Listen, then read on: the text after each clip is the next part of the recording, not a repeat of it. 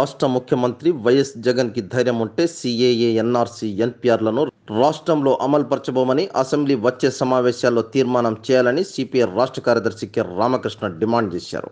ఈ NRC CAA ఎన్పిఆర్ల ప్రమాదాన్ని గుర్తించిన లౌకికవాదులు ముస్లిం మైనార్టీలు ప్రజా సంఘాలు దేశవ్యాప్తంగా ఆందోళనలు చేస్తున్న అంశాన్ని రామకృష్ణ గుర్తు చేశారు.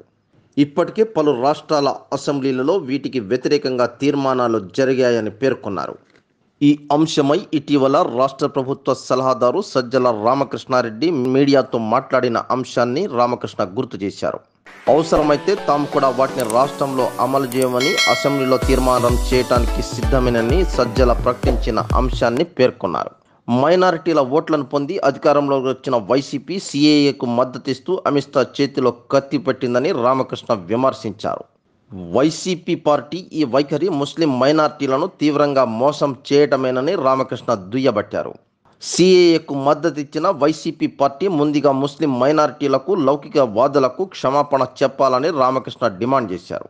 లౌకికవాదిగా చెప్పుకునే ముఖ్యమంత్రి జగన్కు ధైర్యం ఉంటే వచ్చే అసెంబ్లీ సమావేశాల్లో ఎన్ఆర్సీ సిఏఏ ఎన్పిఆర్లను రాష్ట్రంలో అమలు పరచబోమని అసెంబ్లీలో తీర్మానం చేయాలని రామకృష్ణ డిమాండ్ చేశారు.